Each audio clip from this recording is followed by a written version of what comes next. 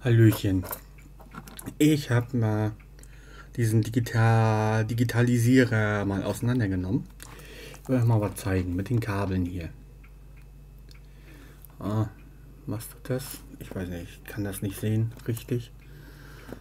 Kann ich das mal raufzoomen? Schafft sie das?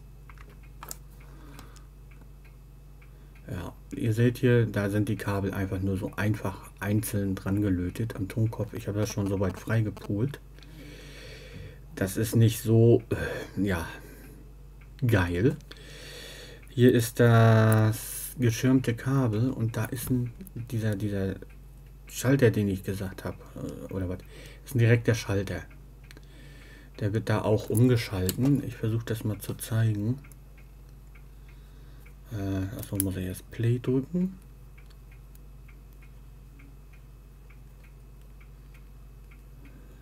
So. Geht nicht. Jetzt drücke ich mal Dings. Jetzt schaut mal. Jetzt geht er hin und schaltet den um. So.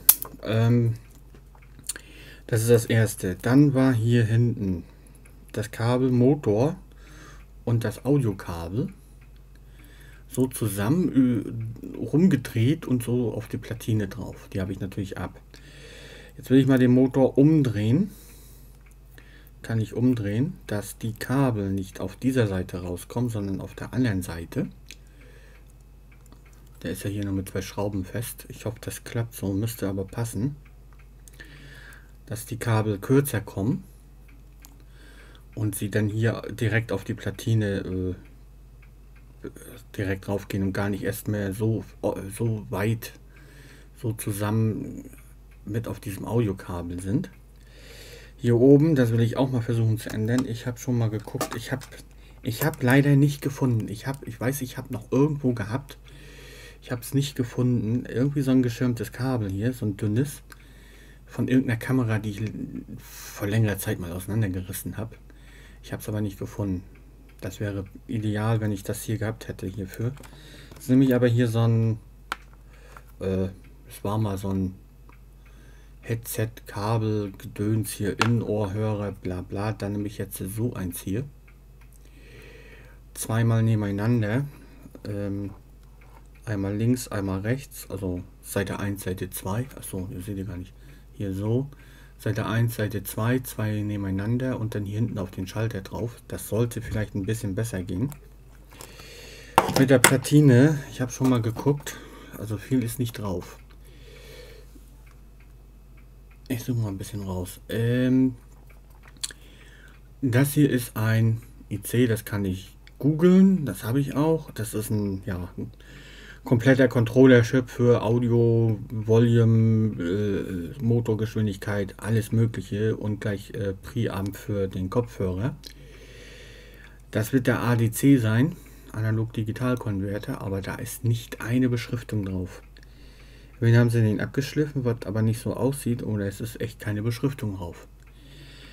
Jetzt will ich noch mal gucken mit dem Motor, der wird, ja hier sind ja alle Gummikram. Der wird einmal hier und einmal da angeschlossen. Mal gucken, ob ich noch ein 100 Nano Fahrrad 100 Nano Fahrrad oder was Kondensator habe und damit parallel hänge, dass vielleicht die Störungen mit rauskommen. Hier ist Audio.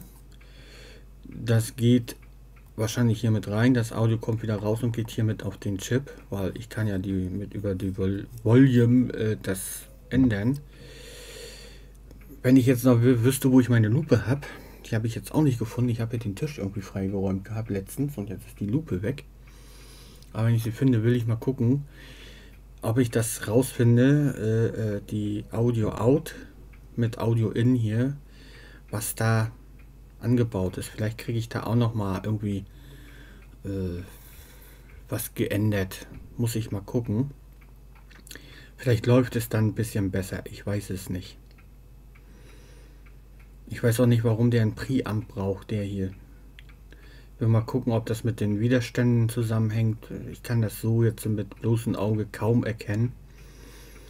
Ähm, wenn, die, wenn die Widerstände das so weit abblocken, dass ich hier echt wirklich fast volle Kanne Power geben muss, damit das hier hinhaut, weil es wird ja als Mikrofonarray erkannt, dass ich das eventuell abklemme und den, den Audiokram direkt auf den Tonkopf gebe.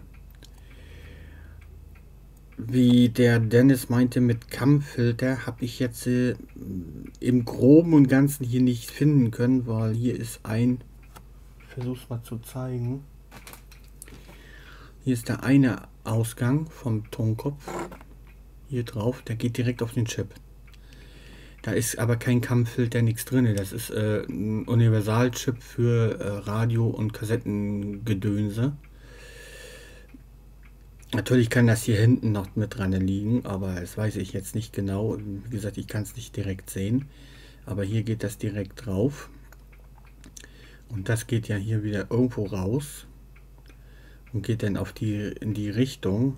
Ich muss gucken. Ich muss es wirklich genau sehen, mir angucken. Vielleicht ist wirklich hier nur irgendwie über Kondensatoren oder Widerstände oder was auch immer das Signal so abgeschwächt worden dass der Chip jetzt wirklich ein äh, Line-Level braucht, beziehungsweise hier über Kopfhörer, den, den hohen Level, dass ich das vielleicht umändern, nicht über den Chip hier raus da rein, sondern direkt vom Tonkopf her gesehen, weil mehr macht er nicht. Audio in, Verstärkung, Audio raus. Äh, dass ich das wirklich von da direkt darauf gebe.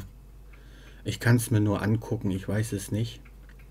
Aber erstmal will ich, wie gesagt, hier das mit dem Motor ändern, dass die Leitung hier erstmal ein ganzes Ende kürzer wird, weil das hier neben, neben den Audiokabeln in der macht man nicht, eigentlich nicht. Vom Laufwerk her gesehen ist das eigentlich okay. Ist kein High-End, aber das Laufwerk an sich ist eigentlich soweit okay. Bis auf das hier mit dem Tonkopf, das ist ein bisschen... Äh, wie das hier mit dem Schalter, ob das damit noch mit zusammenhängt, weiß ich nicht. Aber sonst ist das Laufwerk an sich soweit okay. Was ich gesehen habe von der Geschwindigkeit her hat es gepasst. Und ja, die Schwungmasse ist ein bisschen außer dem Center raus. Ich weiß nicht, ob man das sehen kann. Deswegen dieses äh, flattern, aber 0,4 bis 0,6 ist eigentlich noch vertretbar. Viele, viele Kassettendecks sind auch nicht besser. Das hier kann ich gar nicht genau sagen.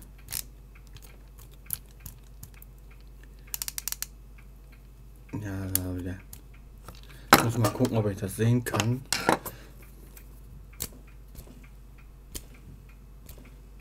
Das ist auch so. Es sollte vielleicht hinhauen. Das ist natürlich nicht perfekt, das ist klar, aber vielleicht kann man das Ding ja noch ein ganzes Ende verbessern. Man weiß es nicht. Zumindest ich weiß nicht, weiß es nicht. Eventuell, soweit ich das gesehen habe. Oh, die Masse vom Tonkopf vielleicht noch mit auf das Gehäuse hier legen, falls die nicht verbunden ist. Ich kann ja mal gucken.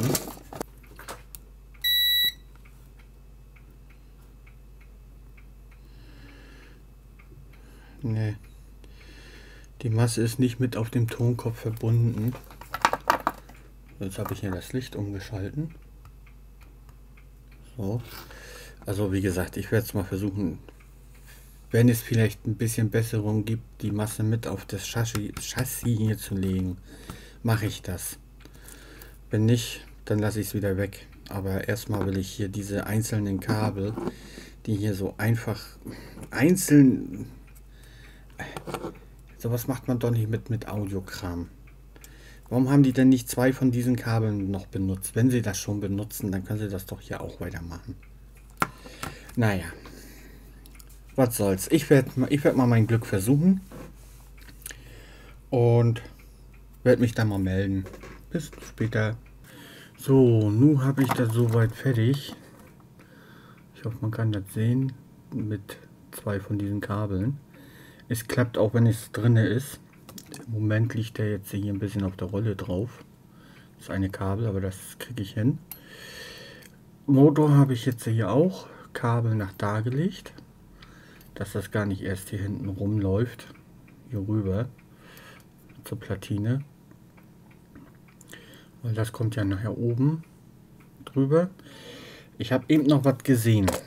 Ich habe das auch schon ausgepiept. Ist mir gar nicht aufgefallen. Da ist zwischen Masse und dem linken Kanal ein Kondensator verbaut. Da, zwischengelötet. Bei dem anderen habe ich keinen gesehen. Beim Ablöten. Aber den habe ich jetzt gesehen. Ich werde den mal wegnehmen. Und versuche den mal auszumessen, wie hoch, wie groß der ist. Weil das sieht doch sehr eigenartig aus. Vielleicht mache ich dann da auch noch mal zwei andere rein. Also das sieht jetzt sehr eigenartig aus, dass da noch ein Kondensator zwischen hängt. Auf nur einem rüber. Da müsste ja auf zwei rüber gehen. Wenn ich jetzt hier so gucke. Äh, ein Kondensator auf den Eingang. Und Masse. Sieht so aus. Hier wäre ein Kondensator zwischen. Moment. Das sieht jetzt echt...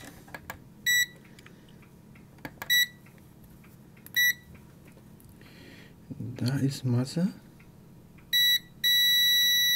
Und ein Kondensator.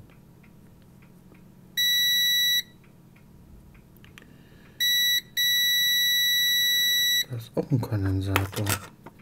Aber warum ist jetzt hier zwischen ein Kondensator?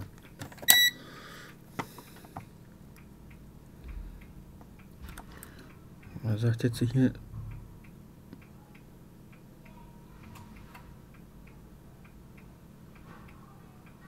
Na, eben hat er was ange angezeigt von 7.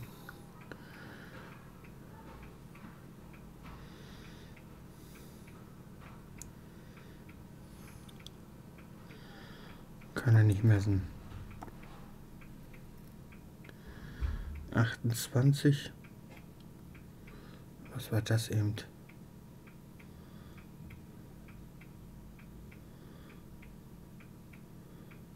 Kann er auch nicht.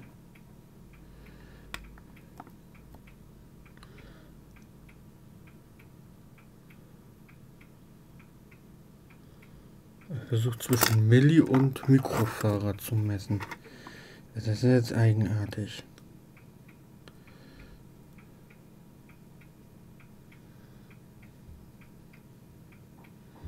Kann er nicht?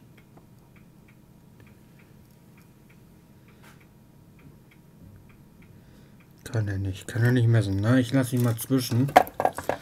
Vielleicht hat es ja doch noch eine Bewandtnis. Mal schauen. Ansonsten kommt der noch mit weg. Mal schauen. Muss ich mal gucken. Aber soweit ist das jetzt hier zusammen. Ich werde das mal versuchen wieder zusammenzubauen nachher. Und dann melde ich mich wieder.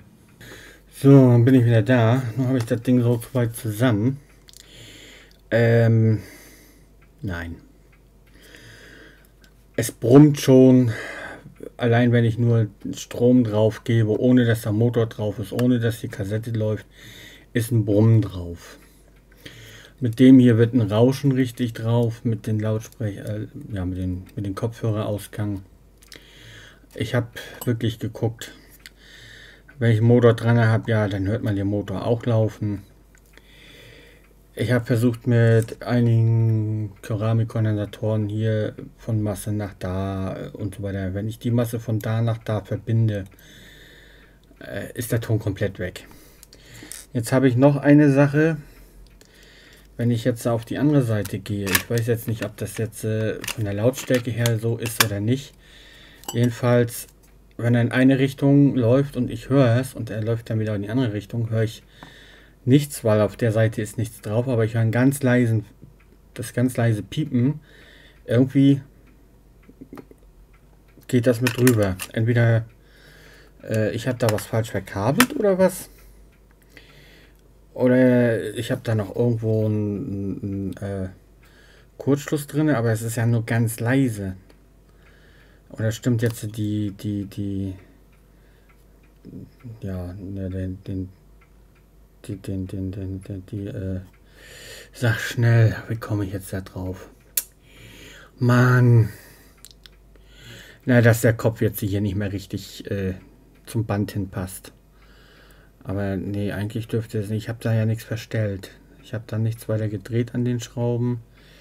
Kann jetzt höchstens wirklich nur irgendwie an eine Kabel liegen, dass er da noch irgendwo mit rankommt, wo er nicht mit rankommen soll. Äh, ja. Und ich habe die Platine ja abgehabt. Ich nehme sie mal schnell ab. Oh, könnt ihr ja mal zugucken.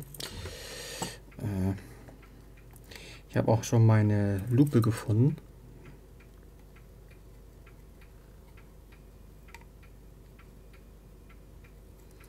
Ja, komm, nun geh doch ab da.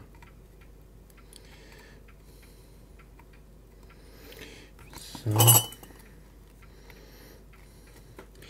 Ich habe schon was gesehen. Ähm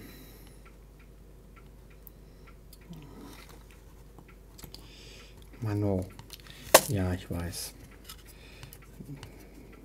Jetzt wieder hier auf Kamera klappt das wieder nicht so, wie ich es will.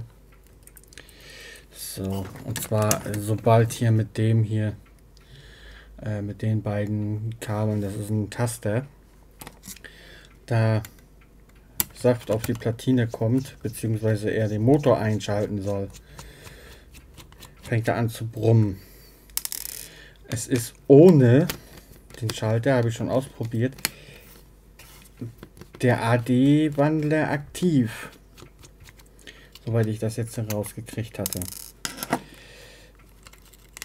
Ich hatte nämlich USB drinne, habe mit der Hand gedreht da hatte ich dann äh, Signal gehabt.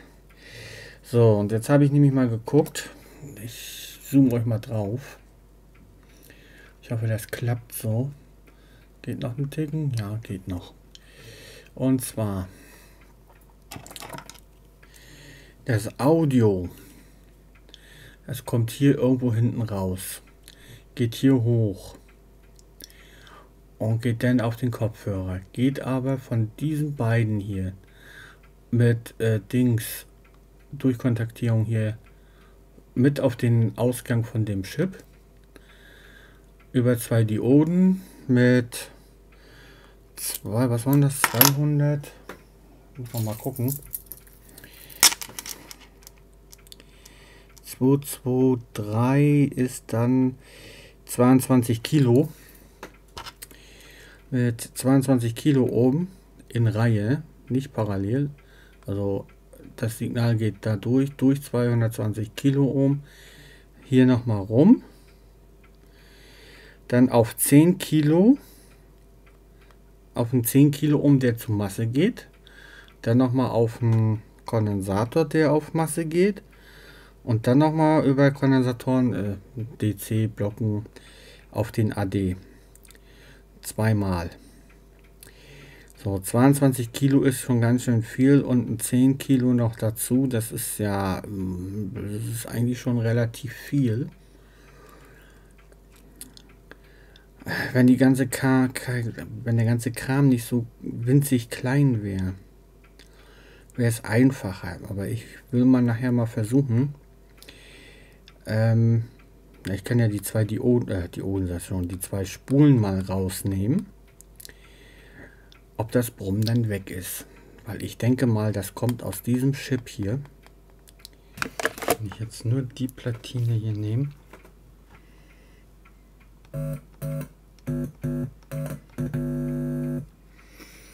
Der Chip ist aktiv.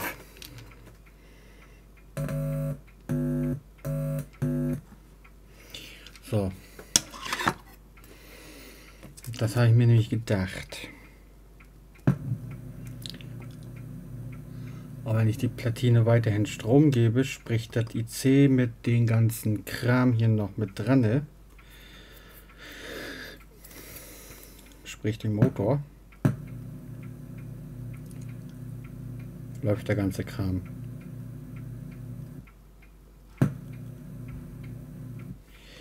So. Heißt, ich muss wirklich mal versuchen, die zwei Dinger hier wegzulöten.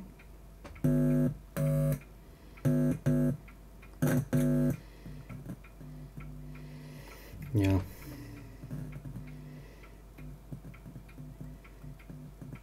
Das ist ganz leise. Hier vorne.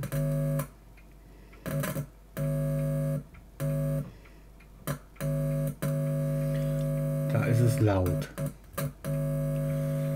So, und da könnte ich jetzt wirklich mal versuchen, von hier, von dem Tonkopf direkt, darauf zu gehen. Das könnte ich mal versuchen, da irgendwie mal, nur mal ein Kabel drüber löten. Massemäßig weiß ich gar nicht, wie ich das mit der Masse hinkriege. Muss ich mal schauen. Aber so ist er relativ ruhig. Wenn ich jetzt hier so gucke, ist minus. Also in den höheren, höheren Tönen oder in höheren Frequenzen minus 95 dB und bei den ganz tiefen Frequenzen, ich schätze mal so 0 bis, weiß ich nicht, 200 Hertz, minus 85 dB. Also das ist nichts Hörbares. In dem Sinne, das ist eigentlich so gut wie gar nichts. Gut, wie gesagt, ich werde jetzt mal kurz probieren von den, den Tonkopf hier. Obwohl, das könnte ich theoretisch auch gleich mal so ausprobieren, ohne die ganze Platine. Zieh das mal raus. Brauche ja jetzt keinen Motor und nix. Ich nehme jetzt einfach mal nur den linken Kanal. Ist ja egal.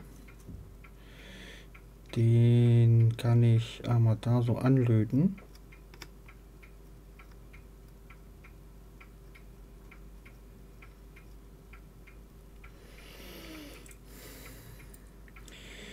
Oder auch nicht.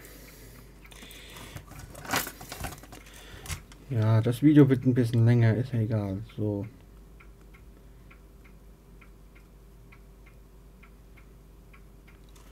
Ah, eine fette Kugel drauf, ist egal. Ähm, komm hier. So. Einmal. Ich mach mal die Masse. Jetzt einfach mal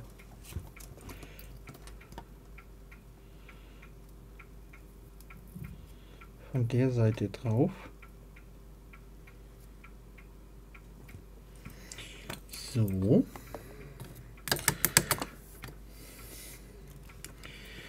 Ähm.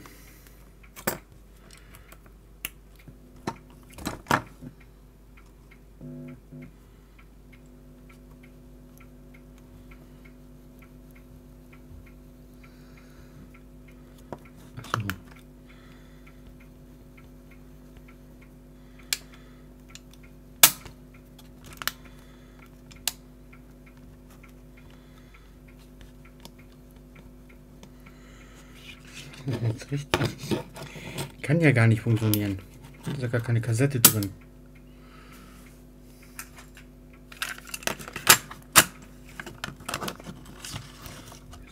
So.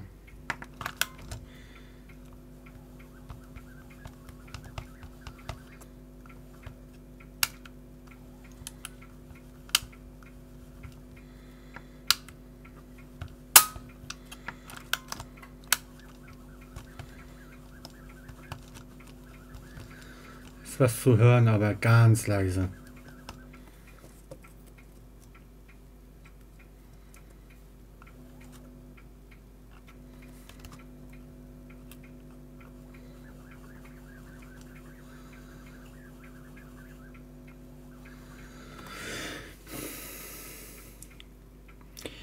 Schade. Gut, das kann natürlich jetzt mit der Masse zusammenliegen, weil die hängt woanders dran. Ne? Moment. Wo ist die Pinzette da?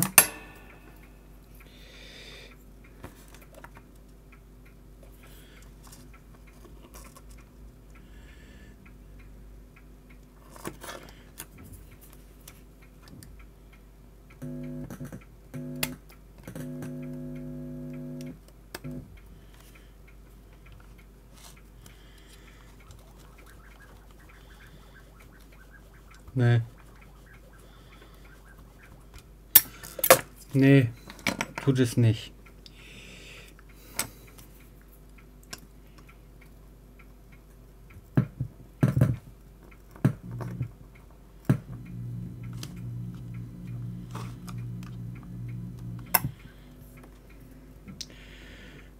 Komm her.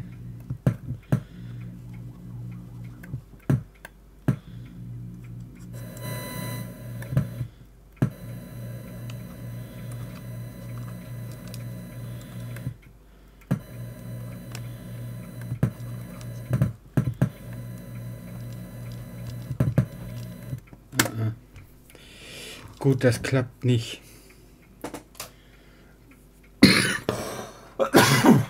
Schade.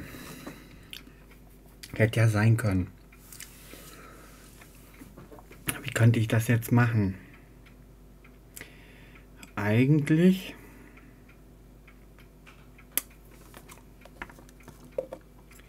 Weil dieses Brummen und Pfeifen und Rauschen da drinne, das bringt nichts.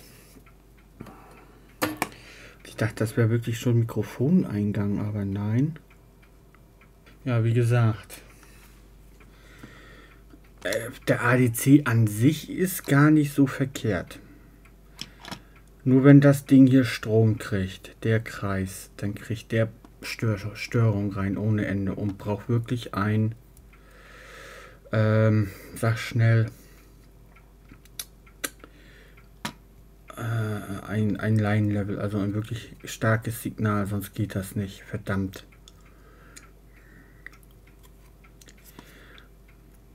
Also wirklich, ja, ich weiß, es ist billig aufgebaut, das billigste vom billigsten und ähm, kann man nichts tun, aber der ADC hier drauf, der ist meines Erachtens gar nicht mal so schlecht. Weil wenn ich den Strom gebe, ist der aktiv, also über, über USB. Der hat am Eingang sein Signal, was er dann umwandelt. Und da ist nichts drauf. Der Rest kommt da drüber. Das ist der äh, Bäh, der Bähkram. Also das hier mit dem hier äh, äh, wird nichts. Ich hatte noch eine Idee. Und das werde ich, glaube ich, in meinem Sony machen, weil das ist gar nicht mal so verkehrt. Das ist nämlich einfacher. Dann spare ich mir nämlich den Weg über die Soundkarte. Und zwar das hier, den ADC, den reinen ADC, den ganzen anderen Kram brauche ich ja nicht, mit an meinen Sony reinzumachen, dass ich damit auch über USB digitalisieren kann. Dann spare ich mir den Weg über die, die Soundkarte. Das kann ich machen. Der hat einen Kopfhörerausgang, da ist ein ziemlich lauter Pegel drauf. Das sollte passen, wenn ich von da aus darauf gehe. dann sollte das funktionieren. Dann habe ich einen USB-Anschluss an meinem Kassettendeck. Ich sag mal so, das Laufwerk an sich hier ist ja nicht so verkehrt, habe ich ja schon gesagt. Aber äh, was nützt mir das, wenn hier der Mo die Motorsteuerung und äh, Sound bla bla so schrottig grottig ist? Das bringt nichts.